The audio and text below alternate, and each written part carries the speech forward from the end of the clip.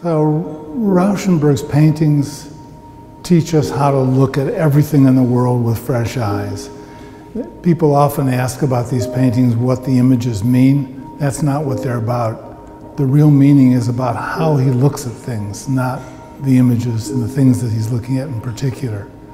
So he, he's looking for images that in themselves have, in a sense, no meaning, or they're the most common things you can find because that really makes us understand how he looks at things. And that's what the paintings are about.